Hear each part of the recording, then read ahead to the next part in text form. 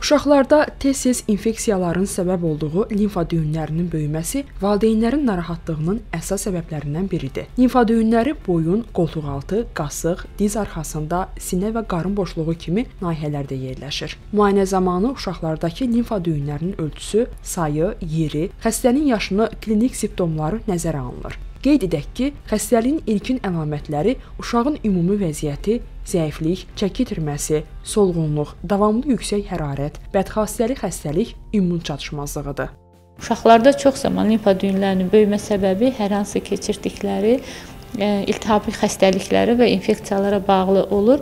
Böyük insanlarda limfa düyünlərinin böyüməsinin səbəbləri altında da keçirdikləri iltihabi xəstəliklər ola bilər, amma yaşı 40-dan yuxarı insanlarda limfa düyünü böyüyərsə və 2 ay müddətində kiçilməzsə, bu zaman mütləq həkimə müraciət etmək lazımdır. Əgər xəstəlikdən 2 ay müddətdən sonra limfa düyünləri kiçilməzsə, və və yaxud da böyümə davam edirsə, bu zaman mütləq həkimə müraciət etmək lazımdır. Mütəxəssislər bildirirlər ki, limfa düyünləri sağlam uşaqlarda, həmçinin yeni doğulmuş körpələrdə də hiss oluna bilər. Böyümüş limfa düyünləri 1-2 həftə ərzində normal ölçüyə qayıtmazsa, həkimə müraciət edilməlidir. Xəstəliyin yaranmasının əsas səbəbi isə uşaqlarda burun, qulaq, boğaz infeksiyalarının yaranması göstərilir. Limfa düyünlərinin digər bir rolu da onların e, orqanizmi xərçəngdən qorumasıdır.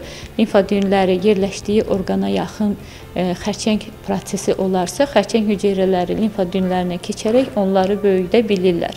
Və bu səbəbdən limfa düyünləri böyüdükdə biz e, həkimə müraciət etməliyik. Limfa düyünün böyümə səbəbi aydınlaşdırılmalıdır. Müayinə zamanı hər hansı bir limfa proliferativ xəstəlikdən şübhələnəriksə, e, hər hansı bir xərçəng prosesindən şübhələnirlərsə, bu zaman limfa düyünləri biopsiya olunmalıdır.